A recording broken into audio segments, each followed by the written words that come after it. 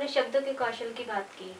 जब हम शब्दों के कौशल की बात करते हैं तो अक्सर देखा है कि लोग द्विभाषीय मतलब जो द्व्यर्थी जो शब्द होते हैं, उनका इस्तेमाल करके, उन्हें कहना चाहिए कि कई बार फुअड़ शब्दों का इस्तेमाल करके एक हास्य और परिहास की कोशिश करते हैं।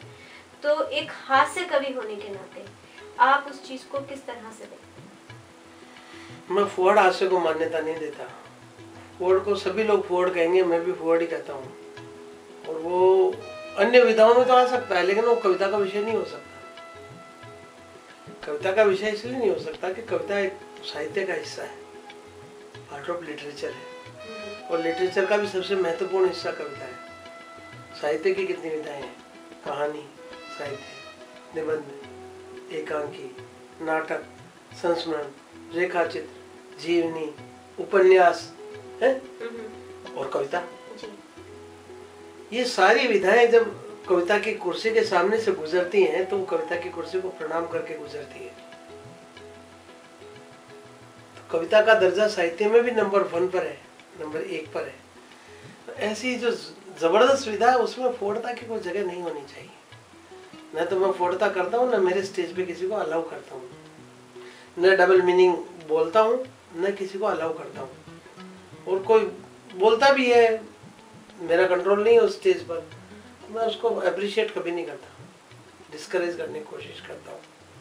क्योंकि कवि सम्मेलन और कविता का उद्देश्य जनता की या श्रोताओं की अभिरुचि को परिष्कृत करना है। केवल मनोरंजन नहीं है। आप आप किसी के टेस्ट को डेवलप करोगे जी। उसको रिफाइंड करोगे वो काम कविता करती है इसीलिए कविता का इतना महत्व है। कमर्शियलाइजेशन के दौर में हर चीज़ जो है वो कमर्शियलाइज हुई हर चीज़ की मार्केट ढूंढी जाने लगी। ऐसे में जो कविता का स्तर है कवि का स्तर है उसको आप किस जगह पर देखते हैं? देखो जो कवि हैं वो कविता का साथ नहीं छोड़ रहे हैं। कुछ अकवि जो कवि सम्मेलन में आकर छा गए मार्केटिंग के बल पर वो फोड़ता भी कर रहे हैं। डबल मीनिंग भी बोल रहे हैं। और वो कविता के अलावा कविता सुनाएँगे, दो मिनट की बाकी बातें करेंगे, पच्चीस मिनट की। तो उनका तरीका, चल वो भी रहे चल हम भी रहे हंसाते वो भी हैं, हंसाते हम भी हैं। पर कौन क्या कह के हंसाता है, इतिहास तो ये लिखेगा। कौन किन बातों से हंसा रहा है? आपने जैसे कहा कि इतिहास तो वो लिखेगा कि कौन किन बातों से हंसाता है। एक कवि होने के नाते आप अपना दायित्व समझते हैं मंचों के प्रति, आने वाले कवियों के प्रति या आने वाली संस्कृतियों के प्रति। तो आपके मन में क्या विचार आता है उस समय पे कि वर्तमान परिप्रेक्ष्य में जो वर्तमान में हालात है, कवि और कविता का, जैसे हम लोग बात कर ही रहे थे कि कुछ अकवि शब्द भी इस्तेमाल हुआ उसमें तो ऐसे में आप एक कवि के रूप में समाज की बागडोर जो होती है वो कवि और साहित्यकारों के हाथ में नहीं है। खास करके जो लेखनी के हाथ में जो है वो हमारे देश का इतिहास है, वो काफ़ी चीज़ें जो है वो लेखनी में समा हैं तो आप उस चीज़ को किस तरह से देखते हैं? मैं सीधे सीधे अपनी विधा से जुड़ा हुआ कवि सम्मेलन एक विलक्षण विधा है और ये केवल भारतीय भाषाओं के देन है। आप देखिए, अंग्रेज़ी भाषा के कवि सम्मेलन कहीं होते हो मैंने नहीं सुने, फ्रेंच भाषा के होते हो मैंने नहीं सुने, जर्मन भाषा के होते हो मैंने नहीं सुने, जापानी के होते हो चीनी के होते हो। लेकिन जितनी भारतीय भाषाएँ हैं उनकी देन है कवि सम्मेलन। और ये आज जो कवि सम्मेलन है ये हमारी सदियों पुरानी वाचिक परंपरा का आधुनिकतम रूप है।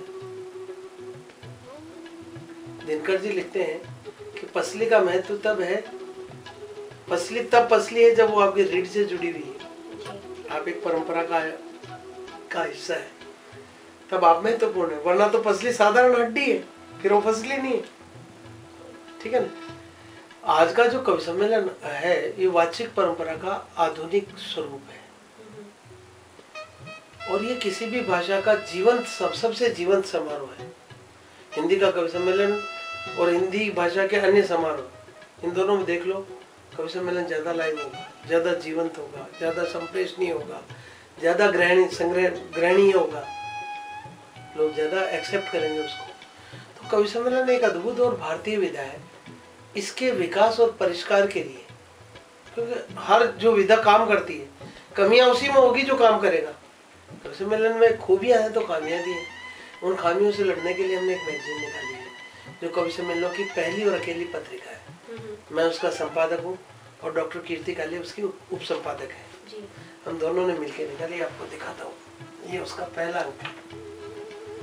बहुत इसको सीनियरिटी से शुरू किया अभी जितने हिंदुस्तान में कवि हैं उनमें ये गोपाल दास नीरज पद्म विभूषण है हम्म, वो सबसे सीनियर पोइट है। यह उनके चित्र से हमने शुरू किया। अब इस थीम में यह है कि भाई कवियों को नायकों का दर्जा दिया जाए। केवल राजनेता हमारे हीरोज नहीं है फ़िल्म स्टार हमारे हीरोज नहीं वो भी हीरोज हैं। केवल क्रिकेटर्स हमारे हीरो नहीं है।